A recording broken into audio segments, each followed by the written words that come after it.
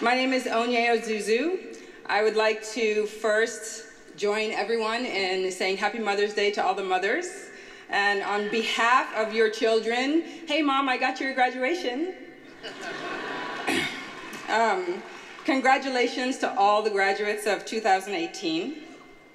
I am here to introduce one of your fellow degree recipients, Dawoud Bey. Or, as the chair of the photography department insisted that I refer to him as the Bay. So, just a few months ago in 2017, Dawoud Bey was named a MacArthur Fellow. now, I've decided to start my remarks there, just cut to the chase, boom. I, in the original version of this intro, that was how it ended. So this is kind of like telling a joke by leading with the punchline. Why would I do that? Well, here's why. As I prepared to make this introduction and gained a more clear and nuanced understanding of exactly what the MacArthur Fellowship means, I began thinking about what it means that Dawoud Bey got this award at this particular moment in time, and I experienced an interruption in my own perception of him and the import of his work.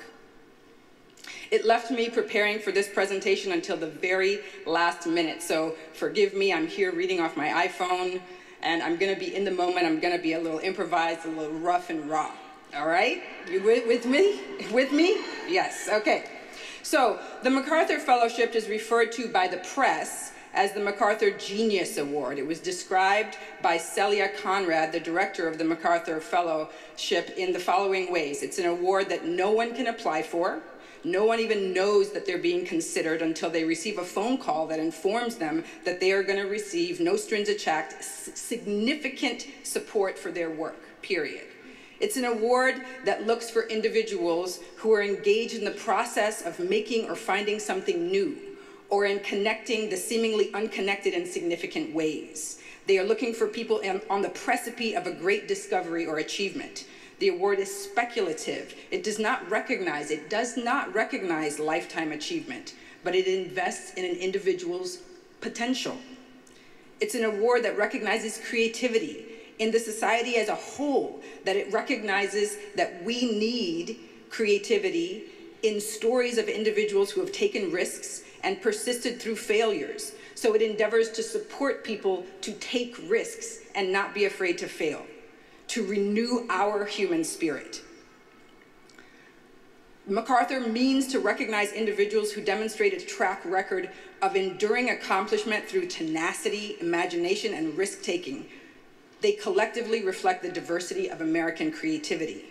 So when you open up your program and read his bio, you will see that our own Dawoud Bey, MFA from Yale, professor of photography at Columbia College Chicago since 1998, is coming up on 42 years of productivity and contribution to the cultural landscape as an artist, a scholar, and one of the most significant photographic voices of our time. You will see that his work has been noted and honored in a long list of solo exhibitions all over the nation internationally, and I will leave you to read the rest of those details. What was significant for me to bring to this moment is to consider the fact that he is eminently worthy of a Lifetime Achievement Award. But the award that he has gotten in this moment is an award that means that he has been nominated for and selected by the national cultural leaders of our current moment for who and what he is right now and what he's poised to do next. And that is powerful. That is impressive. And it is a testimony to the integrity and the active, ongoing art practice that Dawoud has and is continuing to put out in the world. When I met with him soon after the MacArthur Award was announced as the dean of the school in which he teaches, I asked him what he wanted to do and how could we at Columbia help to celebrate him. And this is what he said. He said, I don't need another show. I don't want it to be about me and my photography. I want to produce programming. I want to bring other artists, creatives, thinkers, intellectuals from many disciplines onto campus, into Chicago. I want to engage them and the communities that they gather in conversations with our students and faculty. That's what he said that I could do for him, help him do more for us. I was struck at the generosity of this response, and I was also struck on how truly it resonates with the core ideas that his work projects. I think perhaps that this intense curiosity and general interest in us, his subjects, ordinary, ordinary people like you and me, emerges most poignantly in the happenstance of the interruption that this award made in the introduction that I would have made, one that talked about his accomplishments and his shows, his, his publications, and it refocuses me in this moment on why is this artist's work important, and what is he likely to do next, and how is that gonna matter? Dawoud Bey's work, his art making, exemplifies that never say die, never lay back way of the quintessential contributor to human existence that a functioning artist is. And his particularly, particular contribution in the work of por portraiture, photographs of people nuanced by a particularly evocative layering of place and context and technique. In his own words, he says that he is concerned with trying to make resonant photographs of ordinary people. He curates a momentarily sustained engagement and attempt to invest their lives visually with an enhanced degree of psychological presence, as well as formal and material description. He made his work walking the streets of Harlem for 10 years with a handheld 35 millimeter, engaging people that he met and learning to facilitate them presenting themselves to the lens. He brought two people together from a given community who did not know each other, sat them very close together, and captured them, figuring out how to present themselves while simultaneously negotiating this fresh and short-lived moment of relationship to one another. He stopped young people on the street in Chicago and made of them a contribution to a portrait of what life was like in the United States in that moment in time. He looked back on his work in Harlem 40 years later when Harlem was gripped in the manipulative and, and transformative process of gentrification and gave us an opportunity to look again, to see ourselves again in our changing contexts.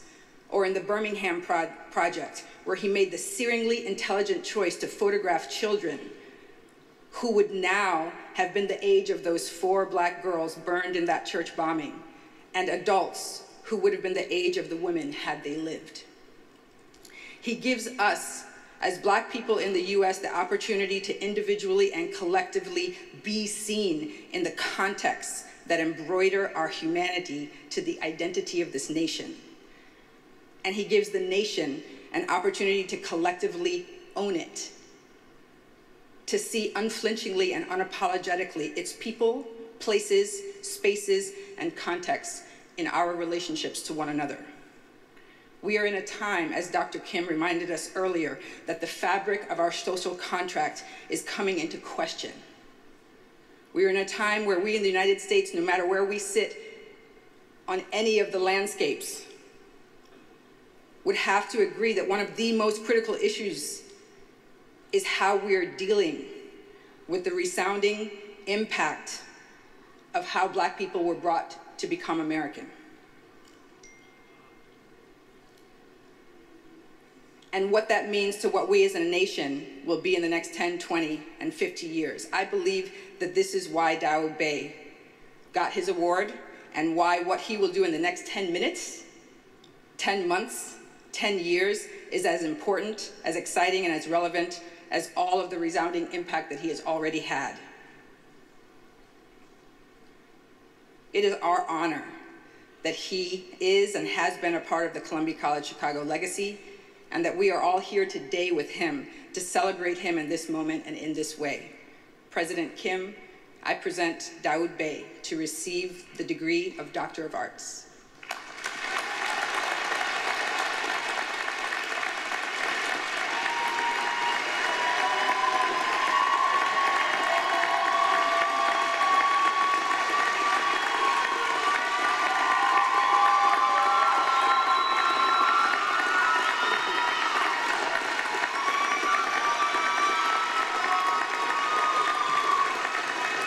Dawoud Bey, by the authority vested in me by the Board of Trustees I confer upon you the degree of Doctor of Arts, honoris causa, with all of the rights, privileges, and responsibilities pertaining thereto. Congratulations.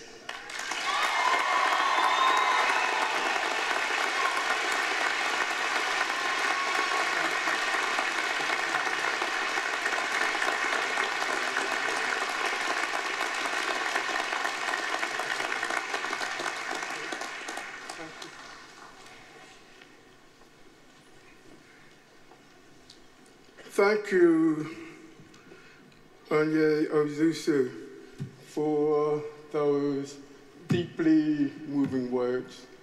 Thank you very much. And Dr. Kim and all of the members of the commu- uh, Columbia community, uh, thank you so much for this honor.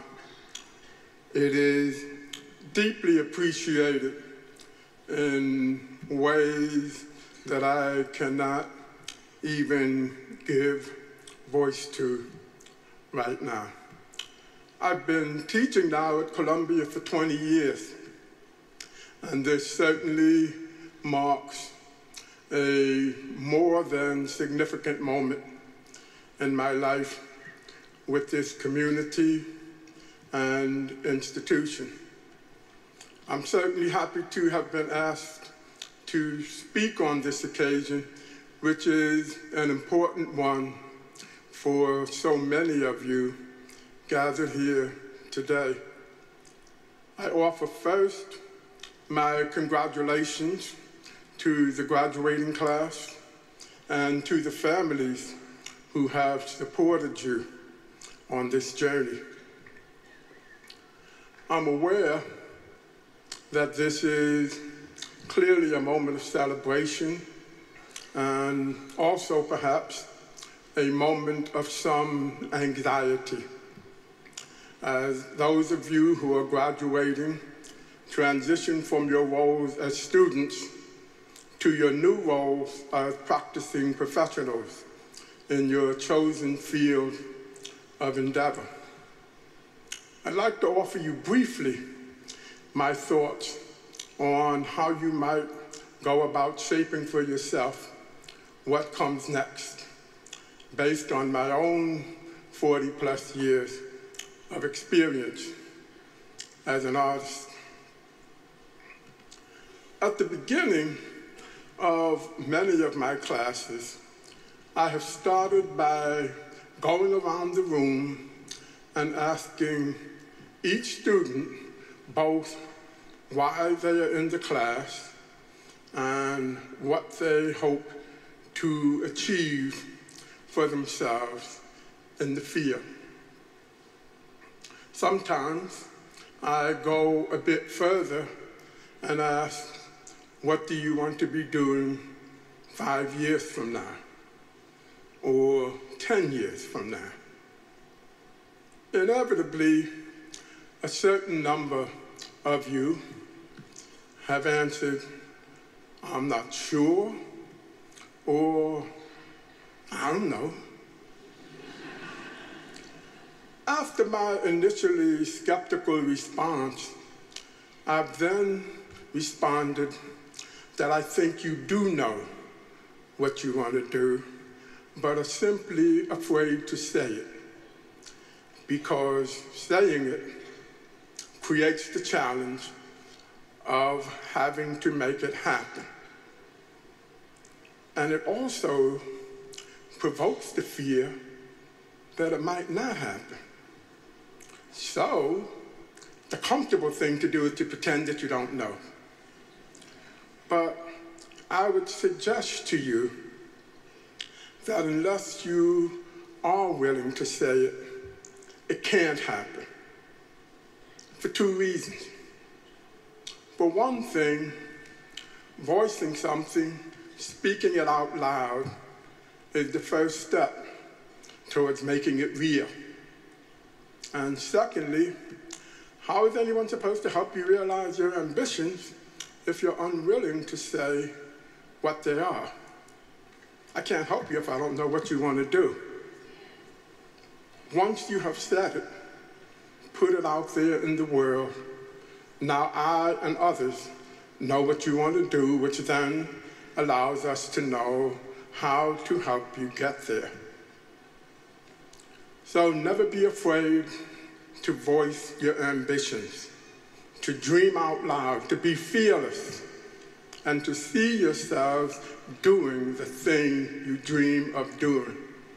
That is always the beginning. Another thought. Wherever there might be for each of you, one thing I know is absolutely true, and that is that no one gets there on their own.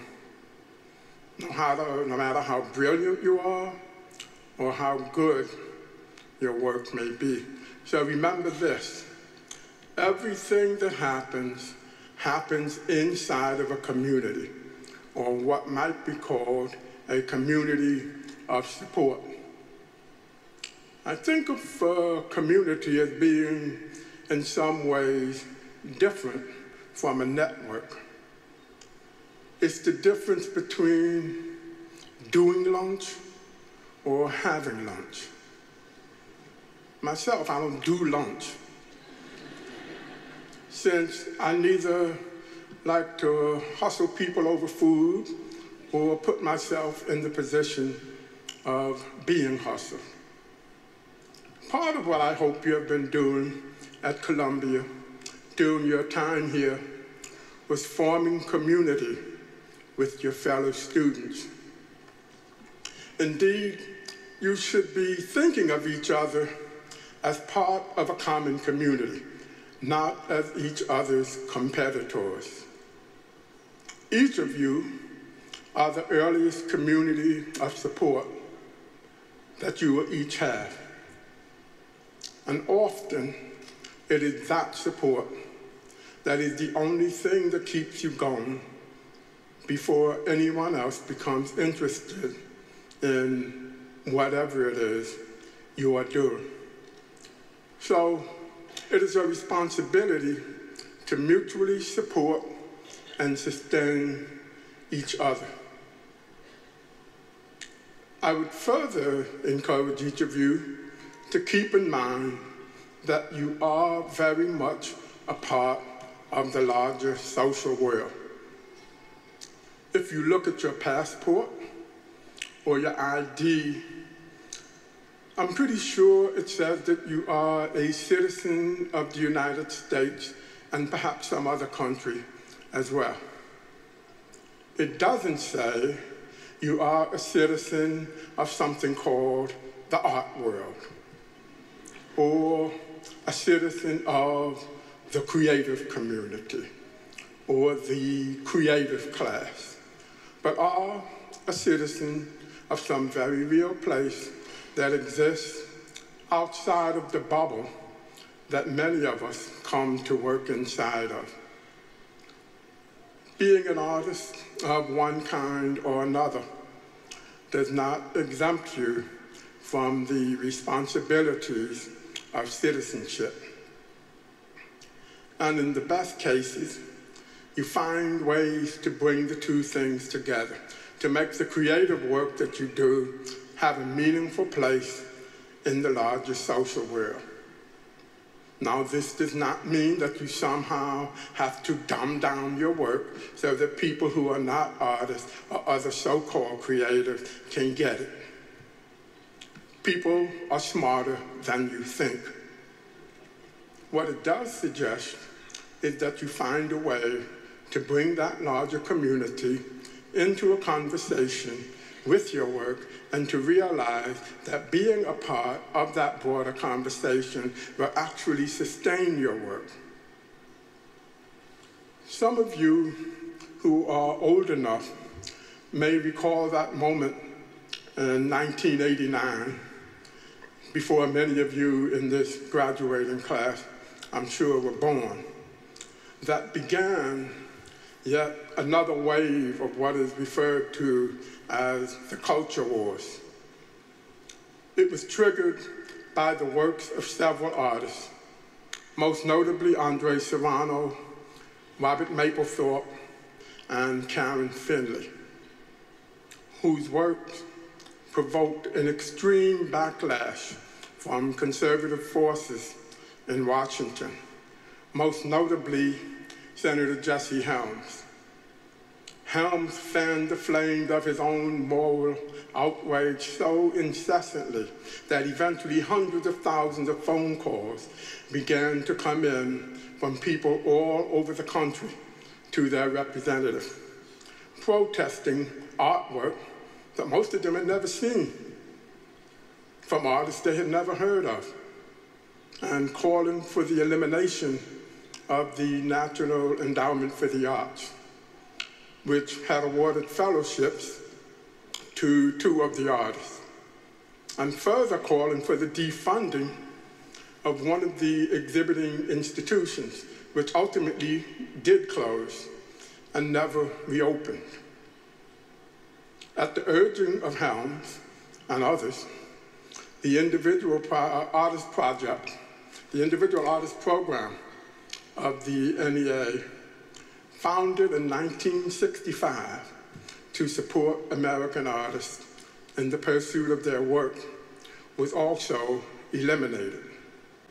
It too has never been revived. Helms and the conservative right had both created and exploited a divide between the larger social community that suggested the artists were somehow different from everyone else, not a part of the larger social community that we all are indeed a part of, but a separate community of perverse, privileged, and elite individuals who are supported by institutions that are just as separated from the rest of the community as they are. The art community continues to pay the price for this division of our various communities. And it is up to us to continually seek to build and maintain those very relationships. All of our lives depend on it, as there are always those who seek to divide our various communities rather encourage ways to bring them together in a mutual conversation.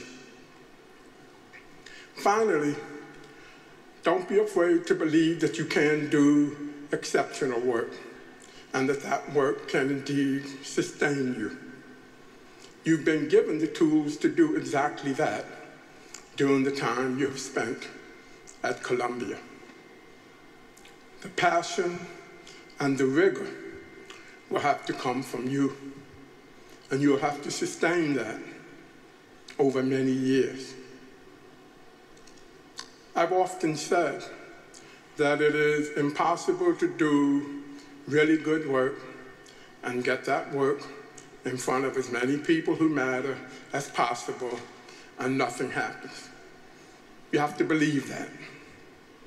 All of those entities that form the infrastructure of our respective fields have a constant, ongoing need for new work and new ideas and are always looking for it.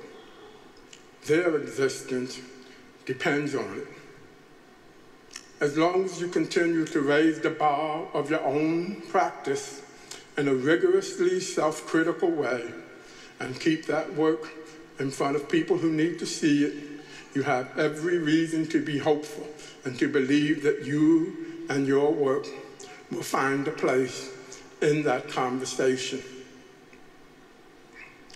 Choosing the life that you have chosen, that we have chosen, is an act of faith.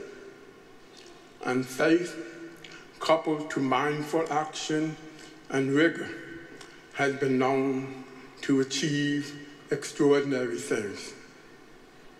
So, as you go forward, I encourage you, in the words of the late Reverend Adam Clayton Powell, to keep the faith, baby.